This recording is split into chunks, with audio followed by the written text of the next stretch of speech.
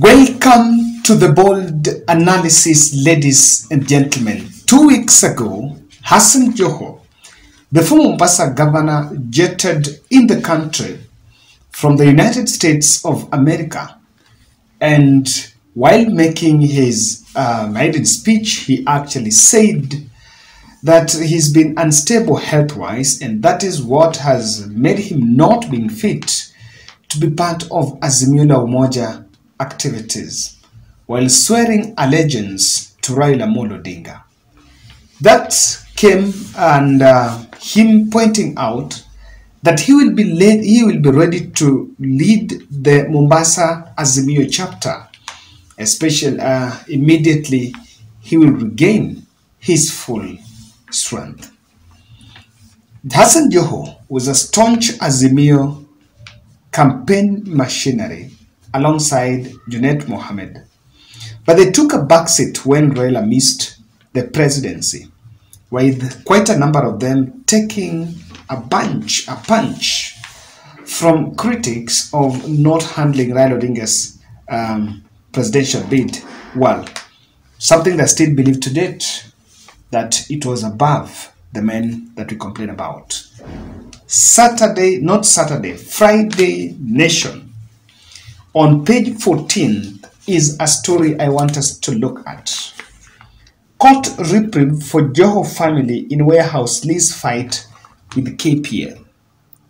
Hassan Joho linked company is having a fight, is at the center of um, a fight with the KPA over a lease document that UDA administration wants to review and actually to terminate, even though it is a document that was legally binding and it was done last year. I want us to look at that because uh, we will then draw political interpretations from it. On June 30th, Kenya Ports Authority granted a lease to in 100 and 100,000 square feet shed to a company known as Portside. Portside is a company linked by Hassan Joho's family, uh, brother Abu, and it was according to that lease document, that lease agreement, uh, the Portside was supposed to build uh, some warehouses. Now, this deal between Portside and uh, the KPA was to last for 20 years. It was done, it was actually signed by the former KPA MD. Remember, the current MD is the one that was appointed by William Ruto, some gentleman also known as uh, having a name bearing Ruto, um, second name as Ruto. According to that agreement, any dispute arising from the deal had to be resolved within 25, 31 days through arbitration. But now something happened. On 3rd March 2023, remember the deal was signed last year, June, 30th June.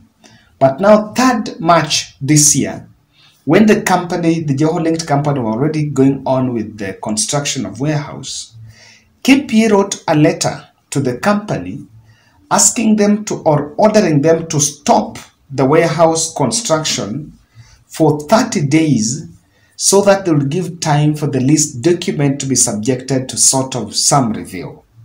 Now, remember, this was uh, to, to stall the operations for 30 days, and then there seems to be backtracking on that lease document. Now, Portside wrote a letter to KPA about the arbitration and even availed their person.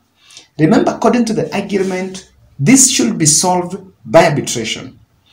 But since they told the Joho's linked company to stop the construction of the warehouse, the state has maintained their silence over the matter and efforts by the Joho linked company to reach out to the state are futile since they are not responding. Now the court has then gave an injunction against that order that came from KPA. And according to it, if they are to terminate that contract, the leasing, uh, the lease contract, they're supposed to be given three months written notice. Now, this warehouse, you need to get this, the warehouse that these portside companies to construct was exclusively handling tea cargo and they would actually partner or rather lease these spaces to private tea handlers. It is deeper than you can imagine. It borders political intimidation, but then not something new because we knew that it is true that the Mombasa port was at the center of the last year's general election and immediately Ruto was sworn in at um, in Kasarani. One of the first orders he made, which we looked at it as a populistic move, was to revert the port operations to Mombasa. It was a dummy paper thing, but never effected on ground. You can do your own research and you'll find out that it has never been effected on ground. And apart and after that, the KPA, which falls under the docket of uh, Kipchumba Murkomen, under Uhuru Kenyatta, the port KPA was under Treasury. But when William Ruto came into power, the transport sector was given, the transport minister was handed to Kipchumba Murkomen, and then the ports, Kenya Ports Authority was then reverted back to transport. But that's where it was before even Uhuru Kenyatta took it to Treasury. You need to get it was in the Ministry of Transport. Uhuru Kenyatta took it to Treasury. I mean, uh, I think maybe to micromanage. And after that, when Ruto came, it was taken back to transport, where now Kipchumba Murkomen is the man in it. So there's been a lot of discussion because even an attempt by the county government to impose a levy there so that the county would benefit was actually thwarted by the national government. And the AG said that the taxes, the collection is only through the national government policy. Now, what is happening? It is not a coincidence that the company is linked to Hassan Joho. Remember, he's a man that swore his allegiance to Raila Odinga I understand in the corridors that he might be making political comeback, perhaps seeking a senatorial uh, seat in Mombasa in 2027 general election, and he's still going to be there.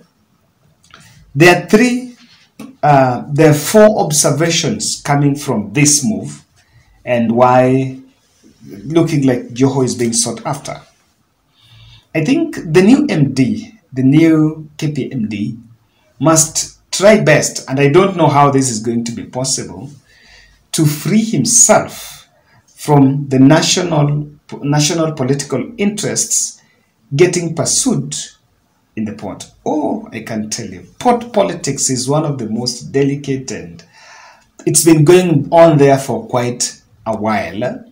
Yeah, you will actually realize that uh, when you read, I've been really been following and doing critical analysis on the port politics it's so deep. What is going on here it looks like the current administration is really in conformity and effecting orders from a higher office. And maybe that is the danger part of it.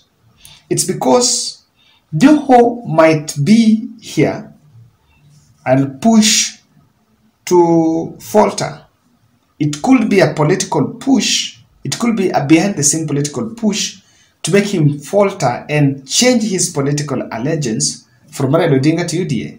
And I can tell you, if Hassan Joho is to come up today, make a press briefing, and cross over from Raila Odinga camp to join William Ruto, then probably that will be the end of it. We know that those who sit politically right political correctness is something that the administration takes seriously.